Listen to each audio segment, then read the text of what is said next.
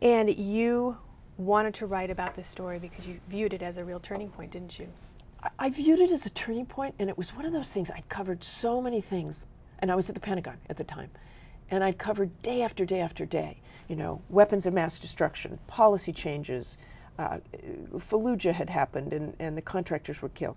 All these things, but but we hadn't really looked at, at what it was like to be there and fight, and and we'd forgotten about that. I mean, certainly got some coverage and but, but to really drill down into a battle and how that affected those soldiers. And then one of the soldiers, I kept going back and he said, oh, You have to talk to our families. If you think it's bad for us.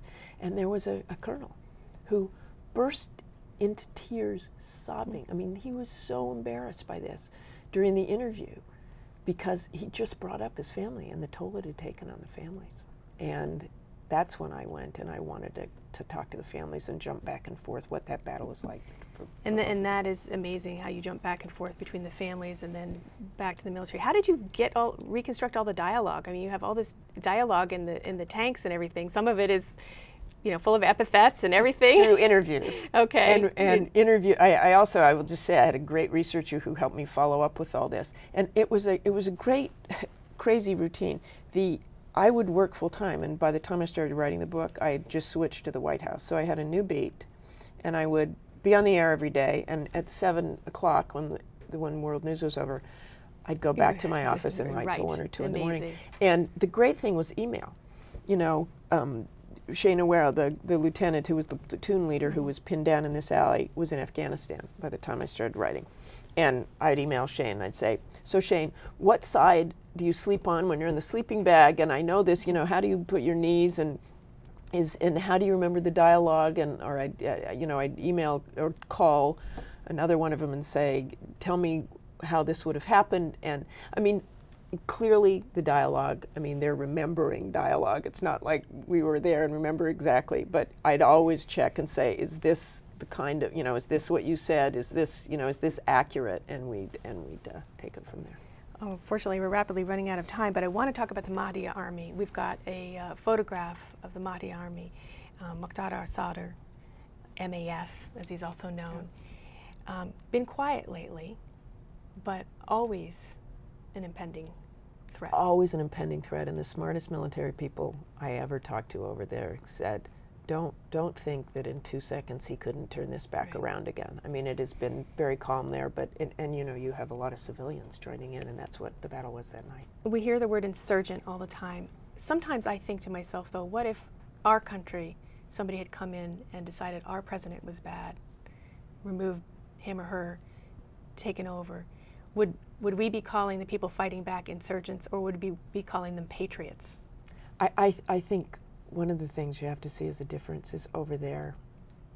It's not on, it's not what they're doing on their own. Sometimes they're forced to do it, and and you know enough about that area of the world Right. and a lot about that area of the world to know that that's what happens. Often it's a dual existence. You may you may see someone in the streets of some of these places saying one thing, but they believe another. Um, we have a photograph of an alley where the battle took place, and I know you revisit this alley as often as you can.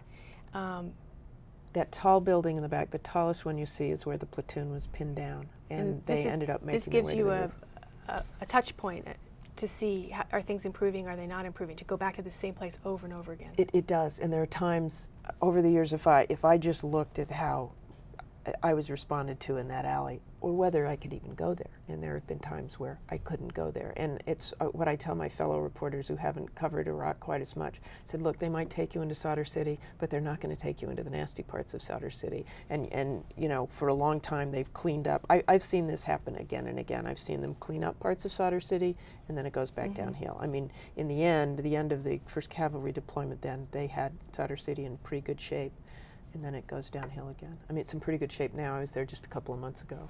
And I understand good. um, the, the book, and I wish we had longer time to talk about it. It's a fabulous book. I recommend that you read it. Um, it's been, has been optioned. It has. It has. It's been optioned for a movie. It was right. It, it was actually right away. Um, a really wonderful producer named Mike Medavoy, who has years and years of experience in Hollywood, Hollywood optioned the book. Um, he saw me speak at the Council on Foreign Relations, read it, and called me a few days later.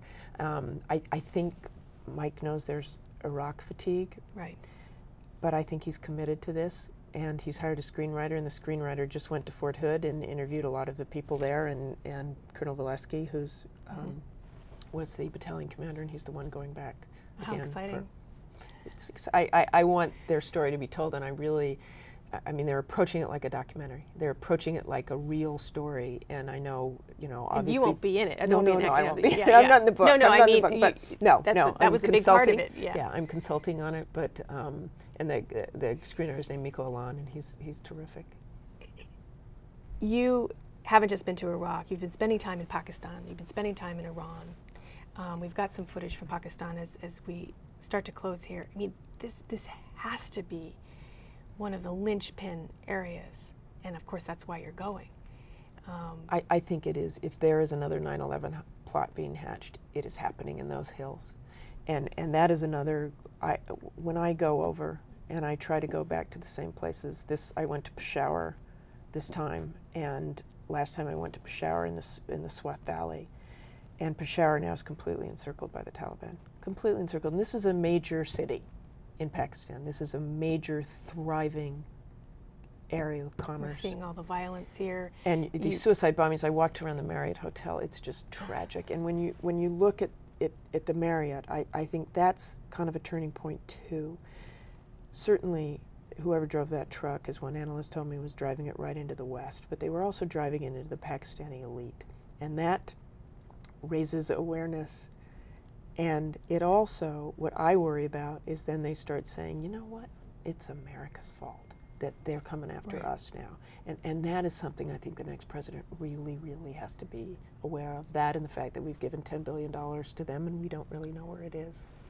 Is, uh, do you think that's where Osama bin Laden is in I, Pakistan? I think every analyst you talk to says that he's in Pakistan. Um, I think the president said it in the last interview I was with.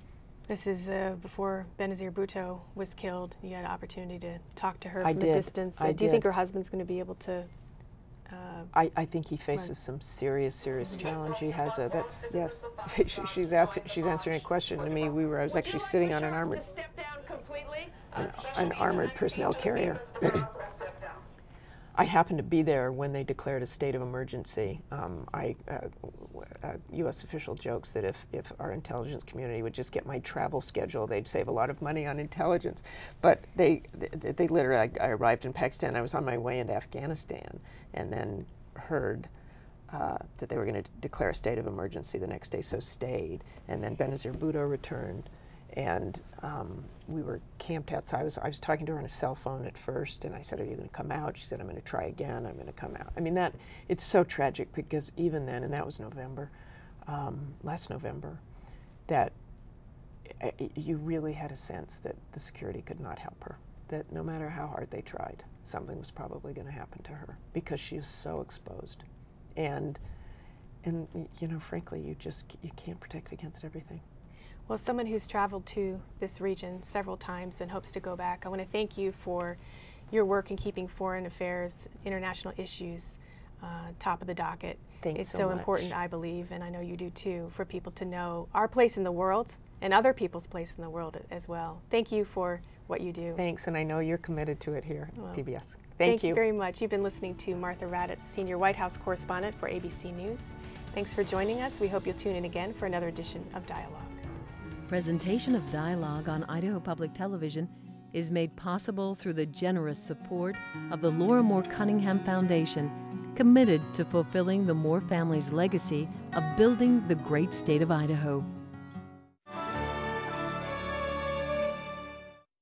To order a copy of this program from Idaho Public Television, call our toll free number or visit us on the World Wide Web